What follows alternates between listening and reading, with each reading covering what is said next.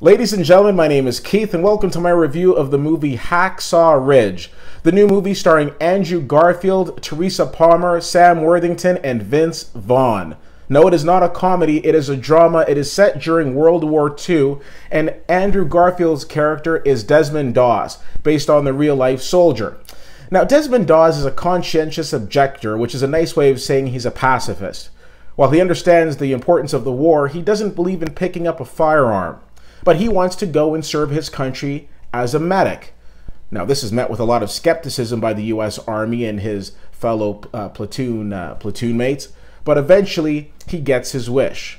Now, we've seen Andrew Garfield in movies such as Spider Man and such as The Social Network, but I will submit that this is the best Andrew Garfield performance that we have seen to date, to the point where he is even being considered for a Best Actor nomination for this role.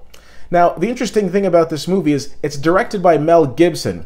That's not so interesting in the fact that, I mean, Mel Gibson's a, an Academy Award winner in his own right, but it seems that the promotion of this movie seems to be distancing itself from Mel Gibson. Normally, you, they would come out and they would say directed by Mel Gibson, but in this instance, they're saying directed by the Academy Award winner of Braveheart. You mean Mel Gibson?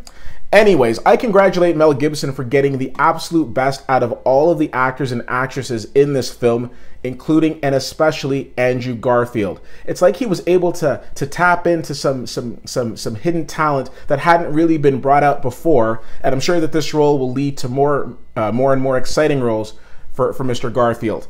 Um, I'm sitting watching this movie, and I'll be honest with you, I'm thinking of other great war movies like Saving Private Ryan the the the fight scenes are can sometimes be a little long, but they're very intense, and they came off to me as very realistic. They did a very good job of capturing the destruction and the mood that you would that that would take place during a war. And I think the realism in this movie is very authentic. Um, congratulations to Mel Gibson. Yes, I'm going to say his name on doing a fantastic job with this, and I definitely recommend you go and check it out. I give this movie a B plus. I definitely hope you have the opportunity to check it out and let me know what you think. As always, you can reach out to me at CFL underscore fan on Twitter, Facebook.com slash Witty Whittier, and WittyWhittier.com. I appreciate your time. Thank you so much. My name is Keith, and I'll see you at the movies.